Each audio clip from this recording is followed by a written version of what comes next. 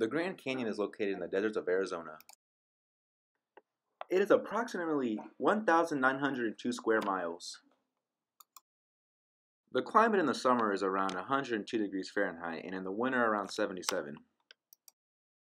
Grand Canyon came about 10,500 years ago. It was carved by the Colorado River, and the Native Americans have inhabited the area since. The first piece of nature is the twisted juniper tree, which is commonly found in the park. The second piece is the brown cactus, which can grow up to two feet in diameter. The third piece is the cactus flower and the blue diamond impatiens, which are commonly found together. The first animal commonly encountered while in the Grand Canyon is the coyote, which can adapt to any habitat.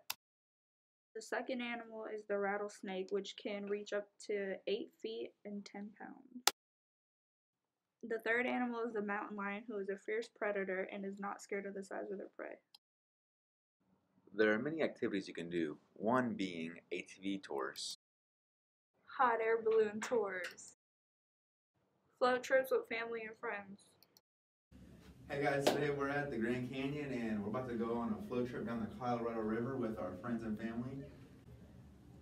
A couple of fun facts about the Colorado River is that it carved the Grand Canyon and it is 1,450 miles in length and the Grand Canyon would not be itself without the Colorado River. Helicopter tours. One of the many geological features is the Skywalk Glass Bridge. Another is the Colorado River. And finally, non man made hiking trails. Hope to see you soon.